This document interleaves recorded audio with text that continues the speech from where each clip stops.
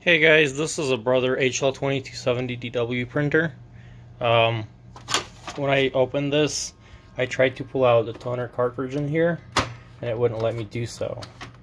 Um, and that's that sometimes happens, and I'll show you how to resolve this. One of the main things is going to be this tab right here.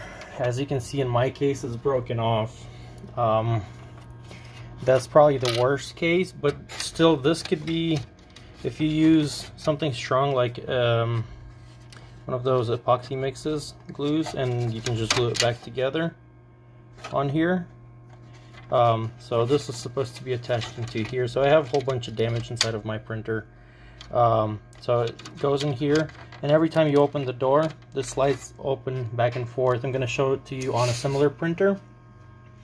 So over here this is the unit we're talking about the piece right here so as you close it, it slides in and basically it closes, it um, latches the toner and the drum inside of the printer. This is going to be the same thing for most HL uh, printers from Brother.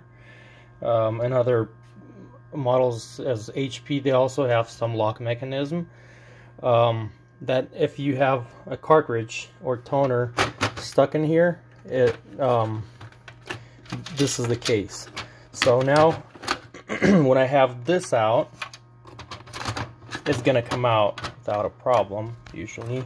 Like so. So if you have that, this is how you pull it out and then either fix this. Um, another issue that could happen is if it's not broken, it could be pulled out, for example, by accident somehow, and then you would close it.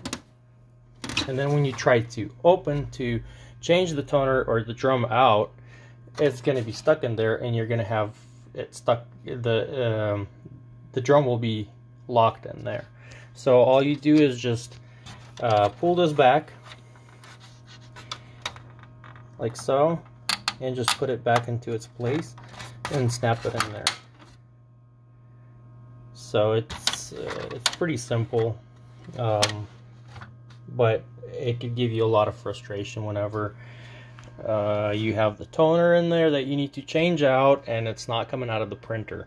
So if we were able to help you guide in the right direction, guide you in the right direction, please like this video, subscribe to our channel, share with other people that have the same issue or may have the same issue, and have a wonderful day.